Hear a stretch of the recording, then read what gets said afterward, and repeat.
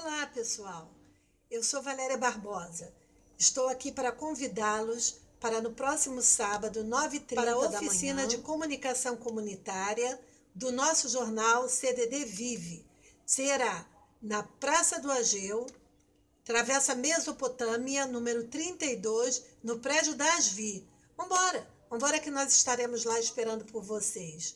Um abraço e até sábado. Beijos!